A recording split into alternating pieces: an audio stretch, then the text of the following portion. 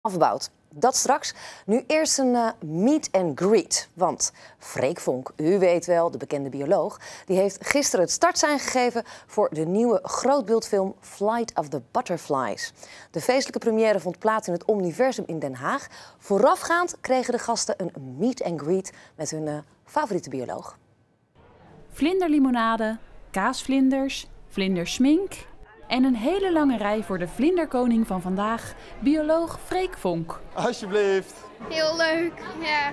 Het is wel bijzonder. Ik zie hem meestal wel op tv en nou is het wel leuk als je naast hem staat. Ja, ik ben wel echt een fan. Freek Vonk is bekend van tv, onder meer door zijn eigen kinderprogramma Freek op Safari. Zien we hem meestal met gevaarlijke dieren, nu is hij ambassadeur van de film Flight of the Butterflies.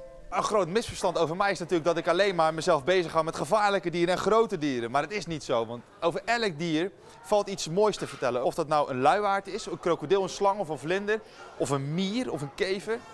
Flight of the Butterflies gaat over de monarchvlinder. Nou, hier hebben we een aantal monarchvlinders. Dit zijn een aantal opgezette. En hier, moet je goed kijken, hier zit een levende. Hier zit ook nog een hele grote levende atlasvlinder. De grootste vlindersoort van de wereld.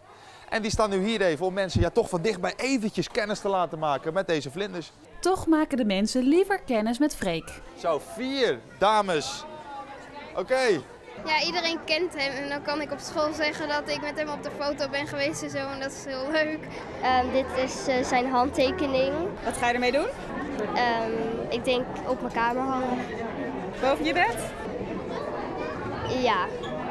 De bioloog wordt bestookt met vragen. Heb je dieren bij je? Welke dieren heb je allemaal al gezien? Welke dieren wil je nog zien? Waar zitten je littekens? Mijn haaienbeet. Um, heel veel kinderen natuurlijk die bioloog willen worden. Ik wil later het, hetzelfde als Freek worden. Bioloog, net zoals Freek Vonk. Maar het draait natuurlijk allemaal om de film. Of we hem moeten gaan zien, daar bestaat geen twijfel over. Freek heeft meestal hele leuke films. Ja, en deze nieuwe film Flight of the Butterflies die is vanaf aanstaande maandag dagelijks te zien in het Omniversum in Den Haag.